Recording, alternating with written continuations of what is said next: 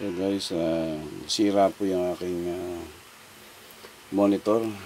Desktop monitor, 32 inches Ace.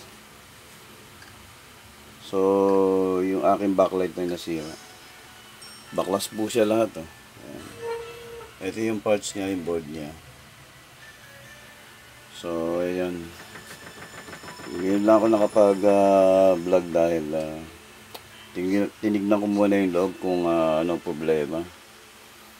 Dahil hindi tayo familiar dito sa ganitong ano, pagbubukas ng kanyang ano. So, nakuha naman natin yung tamang proseso. Yung pagbubukas ng kanyang ah, backlight. Ayan. At ngayon eh, nakikita nyo yung ating mga ilaw. Ayan. So, ang ilaw niya ay ah, 1, 2, 3, 4, 5, 6. Tapos 6 din yan sa taas. Bali 12. So, kanina trace ko siya guys ha. Itong lahat na ito, yan. Umiilaw sila. Bukod tangi ito lang ang isa. Ang hindi umiilaw. Yan. So, naka-series siya. Kaya pag isang hindi, ano, hindi gumagana, hindi rin iilaw lahat. Ayan. So, yung, ito yung kanyang board. Ayan. So, ngayon ko lang na-share sa inyo guys kasi wala akong monitor sa aking desktop kaya ito ang ginawa ko, nag-troubleshoot ako ng ah, aking ah, 32 inches na monitor. So, wala tayong pam pampagawa kaya tayo na lang ang gagawa ha. Ayan.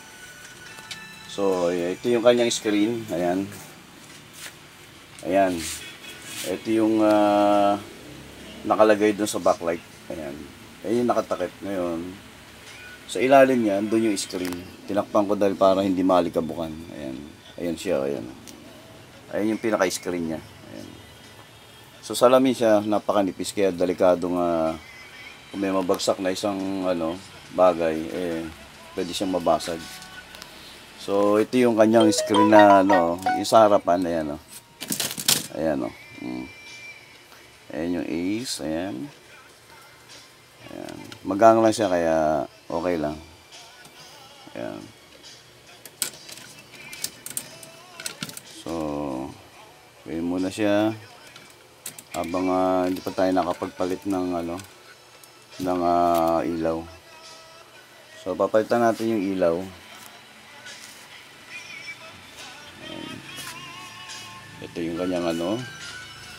So, sa 12 na ilaw, ito lang ang pundi. Ito.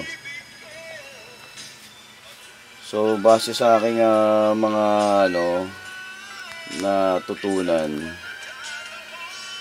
kung may pera ka rin lang, kailangan palitan mo na lahat para para ya, ano, mag, para, para silang uh, nanlakas.